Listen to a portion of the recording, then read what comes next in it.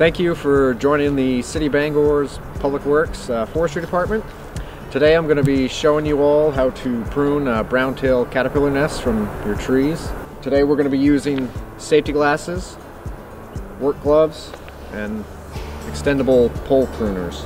This particular one breaks down into screw together uh, sections. And to put these ones together, just going to slide it in screw together. Then you'll hear a click and it's locked together.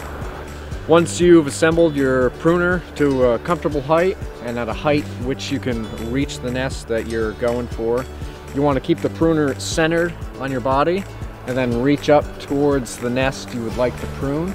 Once you reach the nest, position the hook of the trimmer over the branch directly beside the winter web. Pull the rope to activate the cutting blade and the nest should drop to the ground. If webs get caught up in the tree, use the pole trimmer to free it up so it can fall to the ground. The caterpillars in the winter web are very small and haven't yet started to shed toxic hairs, but you should still avoid tearing the nests open. Once it's on the ground, pick it up and place it in a bucket with soapy water. If you don't have a bucket, put them into a double-lined trash bag inside of a cardboard box with soapy water in it. Let the nests soak for a few hours, then dispose of them in your regular trash. That's all there is to clipping brown tail moth winter webs in your yard.